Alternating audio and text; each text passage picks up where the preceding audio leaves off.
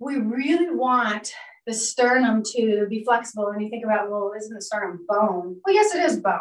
But if your bone is so rigid because it's been pulled on from tight muscles over years, it actually kind of gets dehydrated and dried out. It sounds weird, but if you look at old people and how sometimes they become collapsed like this, they have very brittle bones. And that can be a couple different reasons, but one of them is because they have such tight muscles.